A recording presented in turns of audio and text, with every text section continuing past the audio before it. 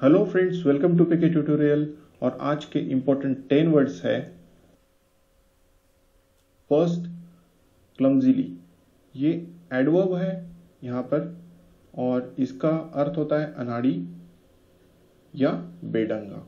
English meaning है in an awkward and careless way मतलब लापरवाह और बेडंगे तरीके से काम करने वाला। इसका एडजेक्टिव जो है, वो क्लमजी होता है। ये किसी पर्सन के लिए यूज़ होता है और मीनिंग है careless and likely to knock into drop और ब्रेक थिंग्स एग्ज़ाम्पल है he climbed clumsily over the train synonyms, awkward, uncoordinated, ungainly, graceless inelegant, inept and unskillful. Second, timid. It is an adjective. इसका हिंदी अर्थ होता है आसानी से डरने वाला और इंग्लिश मीनिंग है showing a lack of courage और कॉन्फिडेंस मतलब इजीली फ्राइटेंड आसानी से डरने वाला example he was so sorry too timid to ask for what he wanted मतलब जो उसे चाहिए था, उसके लिए वो बहुत ज़्यादा डरा हुआ था। Synonyms lacking courage fearful apprehensive afraid and scared next is nerd ये नाउन है और इसका अर्थ होता है बेवकूफ़। इंग्लिश मीनिंग है अ फुलिश और contemptible person who lacks social skills or is boringly studious. मतलब पुरानी चाल का और उबारू शौक पालने वाला आदमी। उसे ही हम क्या कहते हैं? घुसट आदमी। एग्ज़ाम्पल है geeks and nerds produce the art and science that define the modern age synonyms है bore and dull person fourth is peculiar it is an adjective इसका अर्थ होता है अजीब। Different to what is normal और expected मतलब असामान्य, विचित्र। एग्ज़ाम्पल है she gave him some very peculiar look मतलब उसने लड़के को वो बहुत ही असामान्य या अजीब लुक दिया।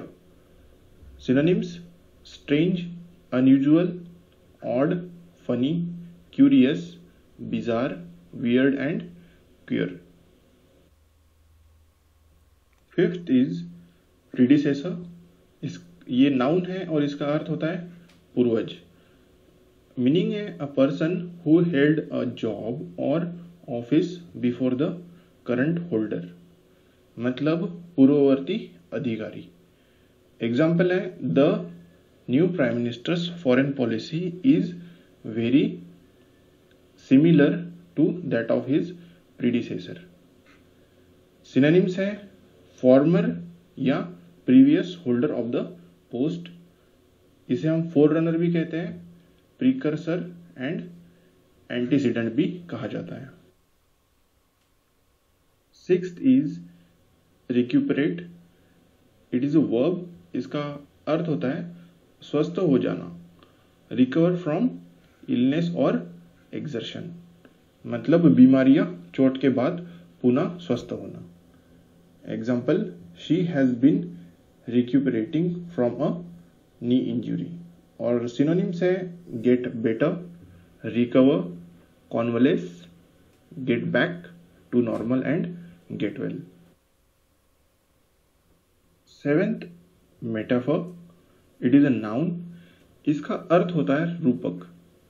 और इंग्लिश मीनिंग है a figure of speech in which a word or phrase is applied to an object or action to which it is not literally applicable मतलब एक वस्तु की दूसरी से समानता दिखाने के लिए किसी शब्द का कल्पनाशील प्रयोग करना।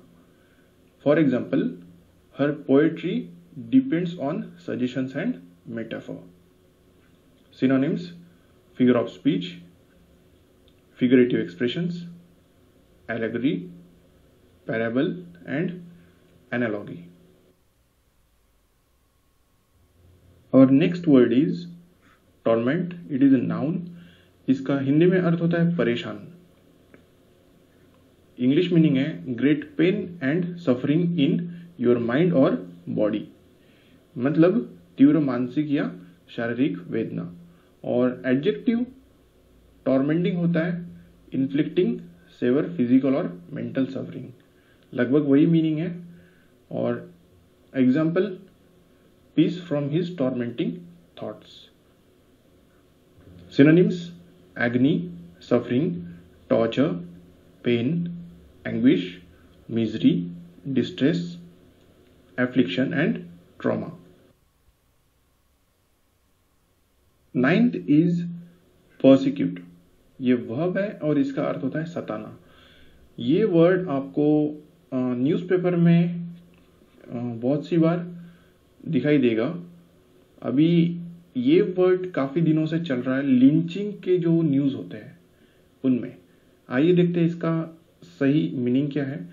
Subject someone to hostility and ill treatment especially because of their race और पॉलिटिकल और रिलीजियस बेनिफिट्स मतलब किसी व्यक्ति को सताना या अत्याचार करना विशेषतः जाति, धर्म या राजनीतिक विश्वासों के कारण से एग्ज़ाम्पल है his followers were persecuted by the authorities synonyms oppress abuse victimise ill treat and mistreat and our today's last word is helm it is a noun इसका अर्थ होता है संचालन या पतवार द पार्ट ऑफ़ बोट और ship that is used to guide it. The helm can be handle or a wheel. मतलब नाव या जहाज़ का दिशा निर्देश करने वाला अंग जो होता है वो उसे हम पतवार भी कहते हैं example the riders stopped and one lifted the Visor of his helm synonyms है steering gear and rudder Thank you friends for watching this video and stay always be awesome.